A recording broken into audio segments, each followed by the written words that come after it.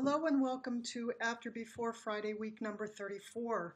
In last week's video, I showed you how I use Nik Color Efex Pro to create two highly stylized images from one image file. This week I'm going back to the program with a much simpler edit, but one where I use control points to minimize the effect of a filter on certain parts of an, of an image. This picture was taken aboard a catamaran and uh, is highly overexposed. Though I really actually liked the high key effect, um, I, I, wanted to tone it down a bit while bringing out the details of the sail. So the first thing I did was go into my basics panel in Lightroom and I decreased the exposure um, to about there. And then I exported it into Color Efex Pro. And I do that by right clicking on my mouse. I always have to think whether it's right or left. Don't ask me why, but right clicking on my mouse, pulling up my, my drop down menu and edit in Color Efex Pro. For those of you who watched my video last week, you know that um, I edit a copy with Lightroom adjustments so that it brings the file with the new exposure level set into Color Efex Pro. And the program is now thinking and creating a TIFF file that it will place in my um, film strip. There you see it just popped up. Well, you saw very quickly. And it's to that file that my changes in Color Efex Pro will be brought back when I export or save my changes in Color Efex Pro. So here's the image, and it always brings up my last used filter, which is the detail extractor, which is the one that I use um, all the time uh, or a great deal of the time, and I'm actually going to use it here. However, I want to show you how I got there. So I'm going to click off and remove the filter so it's back to the photo. And I'm going to come over here to the menu where it shows all the filters available in, in this program.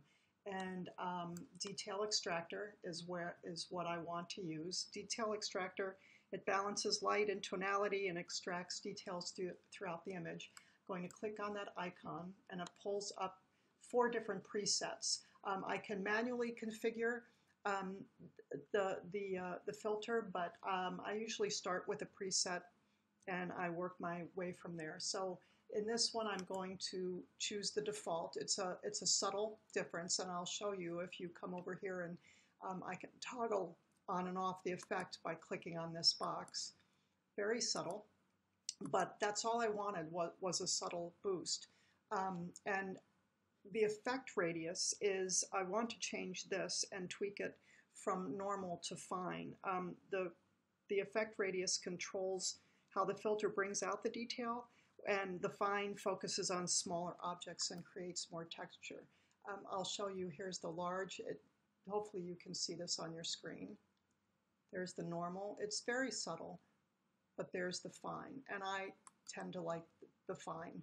Now, with these parameters set, however, there are, there are three problem areas in, in the photo. The two clouds, um, too much detail is, is shown up here. It doesn't look um, normal. And I'm not sure that I want so much detail in the captain of, of the boat. Um, I really like the effect, the contrast between the lightness of the sail and having him in shadow. So to remove the effect of the detail extractor filter, I need to create control points.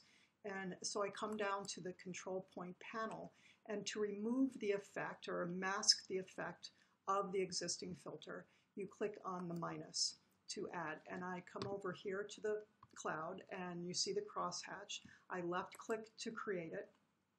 And if I move this slider, it creates it changes the radius of the mask. So, and I, and I can move the mask itself around just by um, left clicking and holding and, and moving, moving my mouse to where I want it. So here is, I'm going to keep it to about here.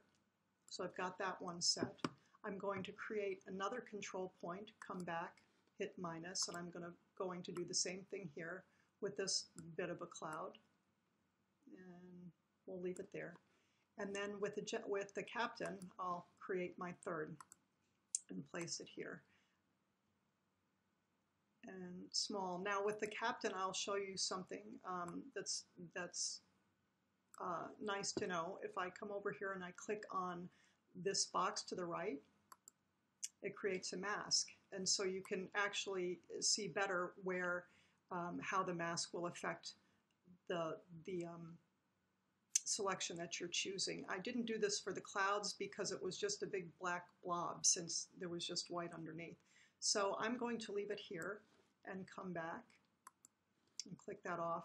And the other thing, I if I here is if I move this slider to the to the right, the opacity will um, if I move this slider, it will um, bring a portion of the effect from the detail extractor filter back into the area at 100%. It's it's as if there is no control point there. I move it down and it's the full effect of, of the mask. I want just a little bit of detail, not much, again, very subtle, and I can show you if you come back to the control point panel, I can toggle on and off the effect of what it would be. So there you have it. Um, I'm going to now save the file and it's going to import it or export it back into Lightroom. It just takes a minute and it's going to bring these changes back into that pre-existing TIFF file that was created upon my export from Lightroom. And then once there, I will see if I want to do any other further adjustments in Lightroom. Normally I do some type of post-crop vignette. Um, so we'll see.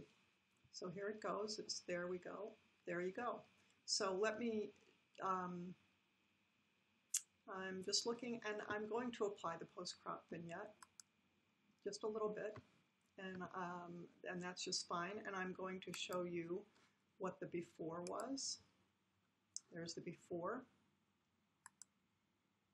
And there's the after. And again, I do like the distinction or the, or the, the difference in contrast um, between the captain and, and the sail. Um, so so that there you have it. I um I hope you've enjoyed watching the video. For those of you watching on YouTube, you can see more galleries of after before photos on visualventuring.com and um, under after before Friday forum.